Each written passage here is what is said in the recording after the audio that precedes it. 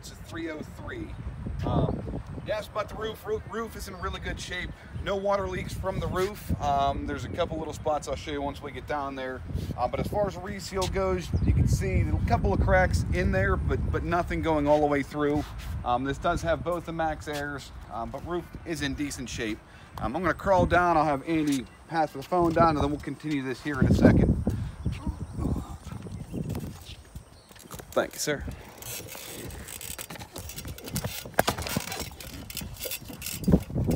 Okay, so as far as the backup camera, backup camera is there. Um, this does have the tow package on this. It's a 5,000 pound hitch. Um, already set up to tow the vehicle. Um, as far as outside condition, I mean, it is an 04, but it's in fairly decent shape. Um, take a look here.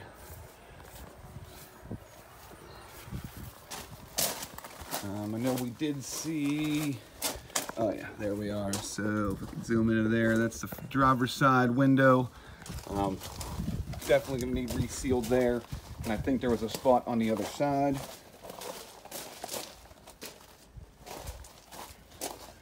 Uh, if I can get the camera angle right there. Yeah, so a little bit in that window. Awesome, thank you, Andy. Yeah, but all in all, that's the only things that we've seen. Um, do this, and pass this back to Andy. Thank you, sir. Uh, so up inside, this thing's got 43,122 miles. Uh, two spots I was talking about up front. Uh, you can see a little spot there where water's getting in.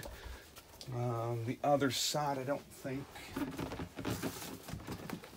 Yes, everything there is solid. You can see a little bit of bubbling in the wallpaper, but the, the actual wall is solid. Um, it does have the backup camera. All in all, no smells, no nothing inside. Um, there was another spot here. Didn't see anything outside. It looks like it's already been resealed. Uh, something the previous owner did. I don't know a whole lot about it. Uh, but as far as the inside goes, really nice upholstery. Uh, you get your double bowl stainless sink, uh, your microwave, three burner cooktop and, and oven down below there. Uh, do this way here. Thank you, sir. A nice sized bathroom in here. Large shower. Um, nice big sink, which is a rarity among most of these motorhomes. Uh, then a toilet back there. Back into the master bedroom. You got a ton of storage over overhead. Um, nice bed, actual comfortable mattress. There is a spot for a TV over there in the corner. Um, you got plugs next to the bed here as well. Uh, going through the cabinets, you look up. I don't know if you can get a good shot in there. Everything inside, so no bubbles, no water, no nothing there. Everything's good. Back up through the coach. So you got a ton of storage here.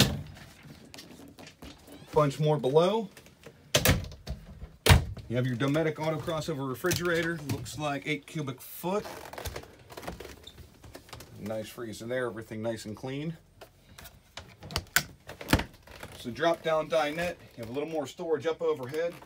Um, and a little swivel recliner here. Um, as far as condition goes, everything seems nice. Um, the tires, I did take a look at. The front ones had a couple of cracks in them. We'll probably end up replacing them once it gets inspected. Everything that we do goes through the shop. Um, the tank sizes, I'll shoot you that in an email. I'm not exactly sure, but I can look it up.